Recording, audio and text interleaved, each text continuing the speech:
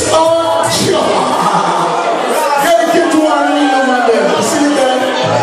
It, want it. I think, I take a sip of a bourbon.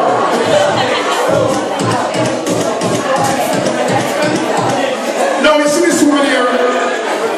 It dedicates my mother and it dedicates my father. My dad died 10 years ago and June is a guy from the country Jamaica grew up. I see my mom with her hand to job worrying about my dad. So one day, I was coming from the farm and I wrote this song. They came to all one who lost someone in their life and I love. I lost my dad and I love my dad. My mom is still alive.